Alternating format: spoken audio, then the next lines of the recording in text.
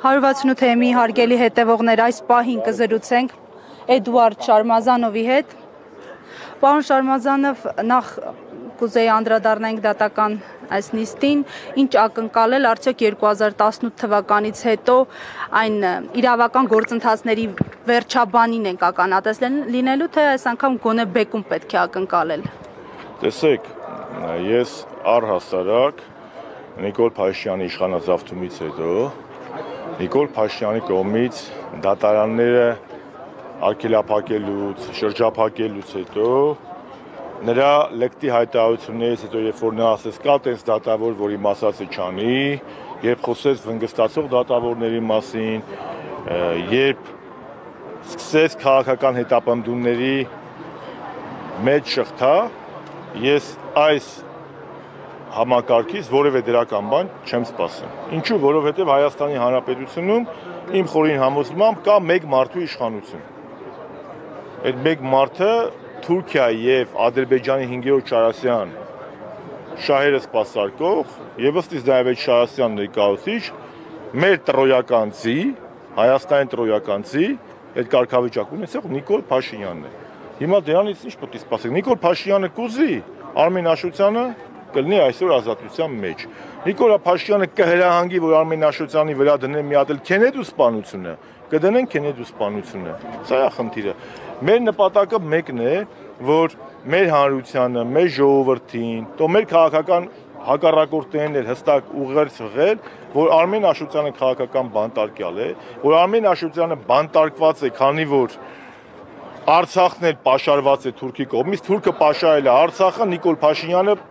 բանտարկել է Արմեն Աշոտյանին։ Արցախայությունը թուրքերի ու ադրբեջանցիների բանտում են, բանտի ասինքն բանտարկվածությունը թուրքերի ու ադրբեջանցիների բանտում են, բանտի ասինքն բանտարկված են, ազատությունից զրկված են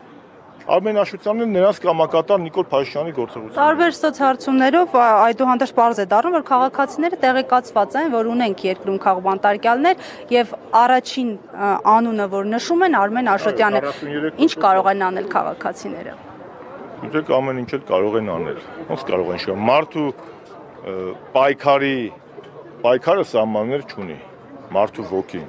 Պարզապես կարելի այդ ոգին կոտրել, հասցնել պլինտուսի մակարդակի, ինչը եւ անում է Նիկոլ Փաշինյանը, իրականացնելով Բոլթոնի ծրագիրը, նատոա-թուրքական, ըստ որի 18 թվականի սեպտեմբերին Բոլթոնը հայտարարեց, որ հա ժողովուրդը պետք է հրաժարվի իր պատմական գաղափարներից, եւ լինում է ոգու պորտկում, ինչպես եղավ 88 թվականին մինչեւ 18 թվականը, երբ որ հայը հաղթած էր։ Նույն մարդն է։ Պարզապես նայած ով է իշխում, Գարեգին Նեժդենն ասում է նույն բանակը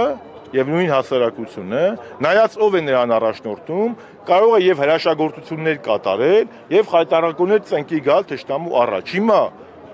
Լևոն Տեր-Պետրոսյանի, Ռոբերտ Քոչյանի, Սերժ Սարգսյանի կառավարման շրջանում, Վազգեն Սարգսյանի, Վազգեն Մանուկյանի այդ փառահեղ պլեյադայի կառավարման շրջանում մենք հրաշագործություններ են կատարել. Մեր ժողովուրդը, մեր ազգը, մեր բանակը, մեր զինվորը, մեր մշակը, մեր մտավորականը։ Իսկ Նիկոլ Փաշինյան կապիտուլյանտի կառավարման շրջանում խայտարակորեն ծնկի են գալիս Թուրքի առաջ, Թշտամու առաջ։ Այլ կերպ ինչպես կարող եք բացատրել, որ Նիկոլ Փաշինյան կապիտուլյանտը parlamentum կանգնում նայում է Հայաստանի զինանշանին, ասում է մենք Արարատ լեռան հետ ինչ կապ ունի մեր զինանշանի 91 թվականի պետությունը, ինչ կապ ունի այս զինանշանի հետ, ու ինքը դեռ կառավարում է կառավարում է եւ հայտարարում է Արցախում սպասվող ցեղասպանության վտանգի մասին, բայց նաեւ նշում, որ պետք է գնալ խաղաղության գործընթացների։ Իդեպ վերջերս կարծեք Արցախի նախագահի հորդորով ի վերջո Հայաստանի կառավարությունը շուրջ 8 ամի շրջափակումից հետո որոշում է դիմել ՄԱԿ-ի անվտանգության խորհրդին։ Ես մեջբերեմ մի հատված մեր կառավարության նամակից, խնդրում է ՄԱԿ-ի անվտանգության խորհրդին որպես միջազգային խաղաղության եւ անվտանգության պահպանման համար պատասխանատու գլխավոր մարմնի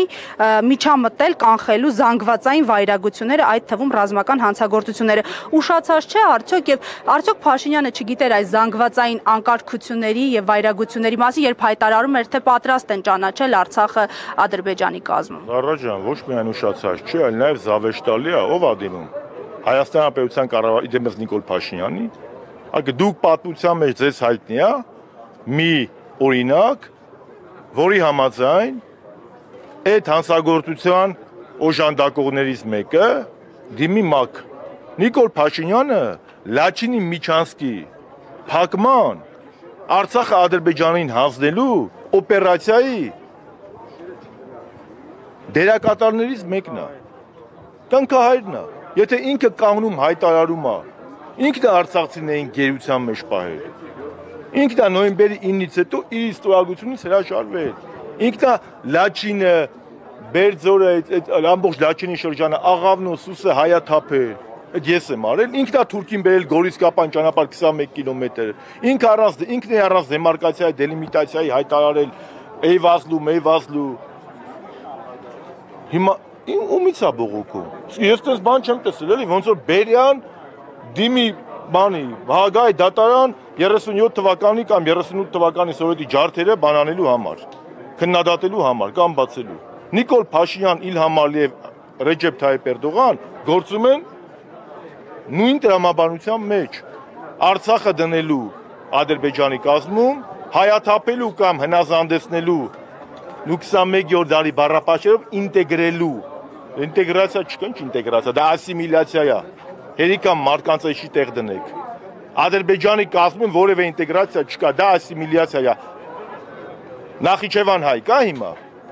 Եթե Ղարաբաղը մտավ Ադրբեջանի կազմ, Ղարաբաղի հայերին, Ղարաբաղին, Արցախի մեր սպասում է Նախիջևանի ճակատագիրը։ Նախիջևանը մի քանի անգամ ավելի շատ տարածք ա եղել ու ինքնավարել կարգավիճակ ա, ասեն ինքնավար հանրապետության։ Քանի հայ է հիմա այնտեղ ապրում։ Ինչ հեքիաթներ։ Իսկ ով խոսում է ինտեգրացիայի մասին, նա դավաճան է։ Ով ուզում է ալնի, նա ազգի թշնամի է։ Նիկոլ Փաշինյանը եւ իր աննմանները պատմության մեջ մնալու են հերոստրատի նման, որ ժողովուրդը անիծելու է դրանց գործողությունները։ Գիտեք,